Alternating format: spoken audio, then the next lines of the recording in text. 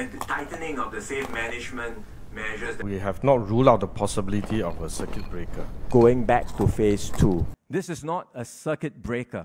I'm sure I'm not the only one that's worried about circuit breaker 2, especially after the Phase 2 heightened alert. To try and assuage my fears, and yours, I decided to take a trip down memory lane and relook at the factors that led to circuit breaker one year ago. Spoiler alert, things were very different last year. Let's start with Feb 7 when Singapore announced DORSCON orange. Just the day before, Singapore had only 30 confirmed cases, with only one case unlinked. On February 8, Prime Minister Lee Hsien Loong held a press conference and said, We're not locking down the city or confining everybody to stay at home. On February 12, two new clusters were announced, bringing the total number of clusters to five. On February 17, the 14-day stay-home notice was announced. This was stricter than the leave of absence, as people who leave their homes could now face penalty. And as we enter March, the daily new infections go from single digits to double digits. On March 12, WHO declared COVID-19 a global pandemic is not a word to use lightly or carelessly.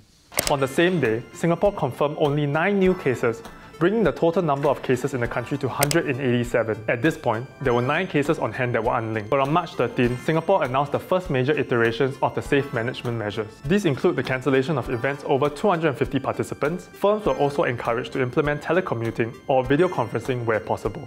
On March 18, the 14-day SHN was implemented for all travellers, foreshadowing the impending return of Singaporeans living abroad. On the same day, there was a sudden increase in the number of daily new cases. Of the 47 new cases, 33 were imported. 5 of the new cases were unlinked, bringing the total number of unlinked cases on hand to 17. There were also at least 27 potential clusters at this point. On March 21st, Singapore saw its first two COVID-19 deaths. On March 23rd, there were 54 new cases, 48 of which were imported. The remaining 6 new cases were unlinked, bringing the total unlinked cases on hand to 31. The next day on March 24th, more safe management measures were announced. All night sports and entertainment venues were shut down, gatherings were restricted to less than 10 people, and firms were required by law to implement telecommuting. Singapore residents and long-term pass holders are also deterred from travelling, as from March 27th, they will have to pay for their own hospitalization bill. Imported cases began to taper, but unlinked locally transmitted cases started to rise. Between the last week of March and the first week of April, New daily unlinked cases went from single digits to double digits. On March 30th,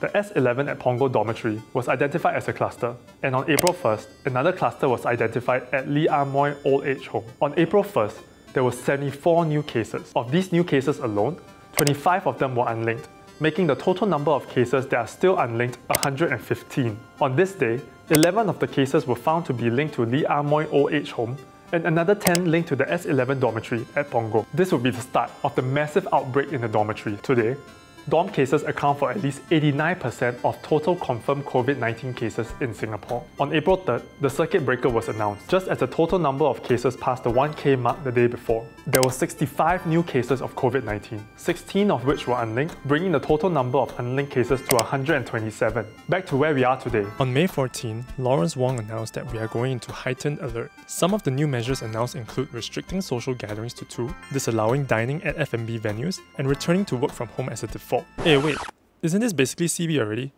Hey, still need to part the video now, huh? I spent so much for what? Oh, okay, okay, okay. My boss telling me that this isn't CB. And if it's a CB, we will say it is a CB. And with good reason. Just look at the difference in terms of measures. This is what Lawrence Wong had to say last year when he was asked if there was a trigger point for Singapore to implement a lockdown. We like to see these measures as a series of brakes uh, which you can put in place. We have a set of baseline measures which will continue for sustained periods. That's baseline. And then we apply extra brakes on top of the baseline. And as I keep repeating or keep emphasizing, there is no magic two-week solution to this, right? These brakes have to be applied for a sustained period. If the situation improves, we remove some brakes. But don't panic. There's no point speculating about whether the CB will really come. And there's no need to rush out to buy toilet paper or rice. For now, all we can do is just be socially responsible and take safe management measures seriously.